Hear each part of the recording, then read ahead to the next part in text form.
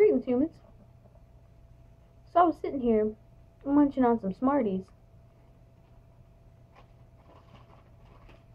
Y'all want one? Um, munching on some Smarties, and I realized I didn't make a video today. I took notes to make a video today, but I didn't make a video. And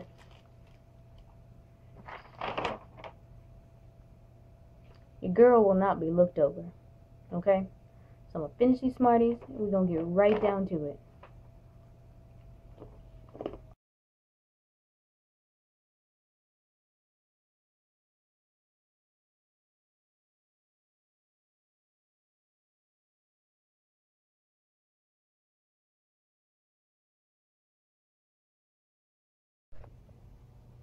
Welcome, humans, to episode 4 of Black History Highlights.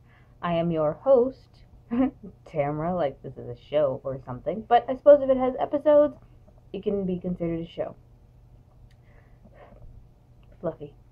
But, all that aside, today we are talking about Dr. Marie Maynard Daly. Okay? We're talking about chemistry today. So she was born to Ivan and Helen Daly on April 16, 1921. Her mother was a homemaker and avid reader, coming from a family of avid readers, uh, and her father was a postal clerk but had moved from the West Indies to um, the States to go to Cornell to study chemistry. Sadly, he ran out of money and so went to postal work. Okay? Um, she graduated from Hunter College High School, which is an all girls school in New York. and in 1942, she graduated from Queens College with honors and a degree in chemistry. Uh, she decided to stay close to home, to stay at home, so that she could save money. Okay? Uh, she worked as a lab assistant at Queens College and won a hard fought for fellowship to cover her master's degrees and to cover her master's degree fees at NYU. So in 1943 she completed her master's in again in chemistry and in 1944 she enrolled at Columbia for a doctoral program. So in 1944 it was her ambition, her intelligence that really got her into school, but also one of those small things in history is it's World War II. Okay, it's the peak of World War II. So there were a lot of basically a whole generation of young men were out fighting a war, and so there were a lot of more a lot more available spots for women. And also, the chemistry program was being run by a Dr. Mary Caldwell. She was really a trailblazer for women in chemistry and should probably get her own episode. Okay? But in 1947, mind you, three years, okay,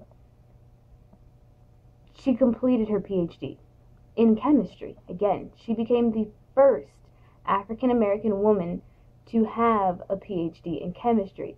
So, congratulations. Okay?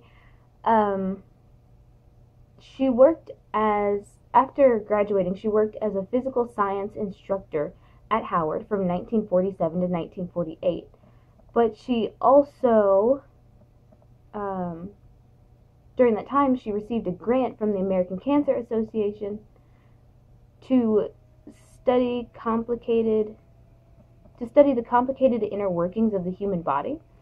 And that grant was the beginning of seven years at the Rockefeller Institute of Medicine. Uh, she really focused on, in her research, how proteins were constructed, some stuff on uh, cell nucleus, the role of cytoplasmic ribonucleo- ribonucleoproteins in protein synthesis, and probably the best known ribonucleoprotein are biologists in the back? Ribosomes. Okay? So she really studied that a lot. And And in 1953, when Watson and Crick published uh, the structure of DNA, that had a huge impact. This was like a wave. This started a cascade of funding into her area of research. So the availability of funding for anybody who in research knows is everything. So the availability of funding really helped her to thrive and do the research that she wanted to do and excel in it because she had the money to do so. Okay, so in 1955 she moved back uh, she went back to Columbia University to collaborate with Dr. Quentin Deming um, and looked at the cause of heart attacks. And it is thanks to their research and their collaboration that they showed a relationship between high cholesterol and clogged arteries. So, our hearts thank you.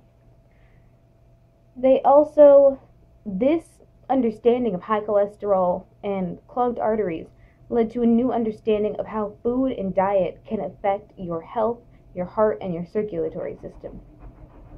And also at, Colum- at Columbia, she taught biochemistry. Uh, it seems a very appropriate field for her. Okay, seeing upon seeing her, realizing, I guess, her importance in history as the first black African American woman to have a PhD in chemistry, she really began to champion the effort to get minorities and people of color into medical and science graduate programs. So for that, I thank you. In 1988, she started a scholarship in honor of her father for minority students at Queens College. In 1986, she retired from the Albert Einstein College at Columbia with many honors, including um, Phi Beta Kappa and being, I mean, sorry, being elected to Phi Beta Kappa and being a fellow of the American Association for the Advancement of Science. In 19, oh, gracious, rather, rather recently, um, October 28, 2003, Dr. Marie Maynard Daly died in New York City. Because of, because of you, Dr. Daly, Daly, Daly, because of you, Dr. Daly. We can. Okay? Because of you and people like you who are who have been, currently are, and will work in the fields of medicine and science, technology, engineering, and math. As a woman, as a person of color, as a minority in many respects, I thank you. And I thank all of the people who are doing work similar to this. You know, getting to a good place and then remembering where you came from and pulling people up. That is what being human is about. So thank you for watching. If you have any suggestions for folks you want to hear about uh, later in the month, please leave me a comment below. Uh, this week, scientists and inventors. Next week, revolutionaries and social activists. The following week, artists and entertainers. Fourth week, educators, politicians, and world changers.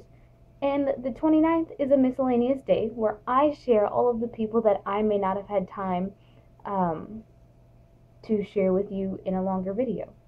So keep watching, and I'll see you next time. Toodles!